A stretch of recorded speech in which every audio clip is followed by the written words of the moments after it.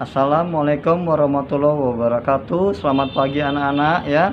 Nah, kita bertemu lagi untuk mengikuti pelajaran di rumah saja ya. Nah, Kahanda akan memberikan salah satu cara untuk melindungi hasil karya seni uh, media krayon ya yang telah kita buat uh, sekian waktu ya. Nah, gimana caranya? Di sini salah satunya Kahanda akan mempraktekkan uh, dengan penggunaan lemfok uh, lemfok nanti akan dicairkan sedikit jika memerlukan air dan tidak boleh pakai tangan maksudnya diulasnya dengan menggunakan koas. Untuk pembelajaran kali ini Kanda sangat memohon menghimbau untuk orang tua ikut membimbingnya putra putrinya dari kelas 1 sampai kelas 6 terutama kelas 1 sampai kelas 3 yang benar-benar Kanda harapkan ya Nah, di sini sangat penting sekali peran orang tua murid untuk selalu mengawasi putra-putrinya uh, dalam pengerjaan media krayon yang dilapisi dengan lemfok. Oke, kita akan praktekkan ini semua. Ya, kalau memang tidak kering untuk hari ini, besok nggak apa-apa selanjutnya. Bisa dikeringkan dengan matahari, sinar matahari masuk anda, uh, atau dengan kipas ya uh, atau diamin aja ya. Kalau dikerjakan siang atau sore besok pagi akan kering ya. Yuk kita praktekkan supaya lebih jelasnya oke? Okay? Pertama kali kalian akan siapkan uh, hasil karya uh, lukisan kita. Boleh kamu pilih yang mana aja ya. Uh, boleh yang ini ya. Yang ini banyak ya. Uh, kamu boleh satu aja ya. Uh, karena minta. Nah terus yang berikutnya juga kamu persiapkan dulu alat-alatnya salah satunya kain ya. Kain yang bersih dan kuas. Kuas ya. Kuas ini yang bersih. Ya tidak boleh kuas yang apa ya yang kotor ya. Harus selalu bersih ya. Nah di sini ada wadah uh, piring. Di sini bahannya uh, seperti lemkok yang cair. Uh, seperti ini ya. Ini adanya biasanya di material ya. Uh, oke anak-anakku nggak mahal ini ya. Nah terus perlu tambahan air hangat hangat kuku jika diperlukan untuk mencampur uh, lempok ini. Seandainya memang lempok ini kental uh, kamu lebih carikan sedikit diaduk ya itu jika diperlukan. Kalau enggak ya nggak masalah. Nah sekarang anda akan membuktikan cara pengerjaannya ya. Oke anak-anakku di sini ada wadah piring. Nah, kita bersihkan dulu. Nah lalu kita siapkan lempoknya. Kita letakkan di wadah piring secukupnya ya. Nah di, di sini sepertinya uh, apa? Masih terlalu nah ini ya terlalu uh, kental. Boleh dikasih sedikit air hangat uh, ya uh, karena akan memberikan sedikit aja. Nah lalu kita aduk ya. Kita aduk. Oke. Kita aduk di sini ya. Uh, kita aduk seperti ini. Nah ya. Kita aduk yang rata. Hmm, ini jika memang kental kalau kamu memerlukannya lebih uh, pertama ya nggak apa-apa ya. Hmm. nah ya. Setelah kita aduk ya. Nah, setelah kita aduk nah, kita bersihkan ya.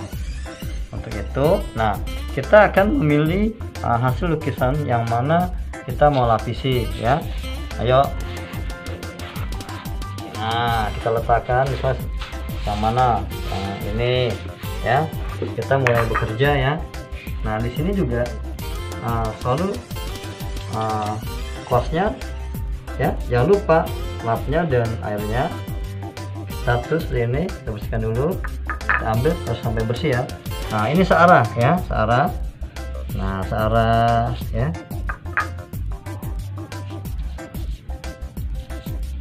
Nah, kita memerlukan air ini karena membantu sekali air ini untuk meratakan. Hmm, ya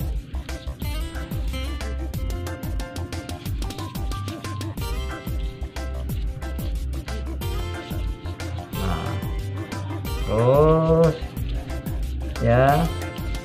Nah kita kasih air lagi supaya dia tidak uh, kesat ya. Jangan sampai kotor ya. Kuasnya kita celupkan lagi ke air seperti melukis. Jadi kita uh, melukisnya uh, di atas karya kamu ya dengan lepok. Nah ya bebas aja. Suka-suka kamu. Air lagi.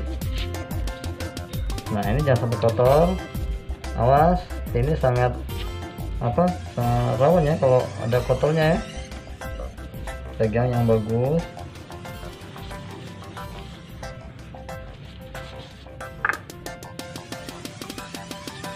Kita kasih air lagi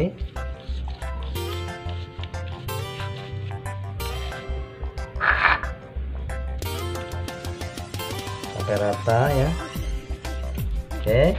Nah ini sudah udah rata nih ya. Nah. oke nanake ya. Nah setelah ini ya uh, kalau sudah hampir kering ya jangan dikasih lempok lagi. Dia akan rusak ya. Biarkan seperti ini dia tidak bisa dua kali ya.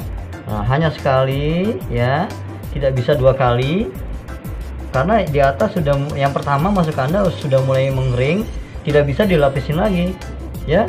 Nah, makanya kita harus hati-hati sekali ya. Nah, cara mengerjakannya ya cukup.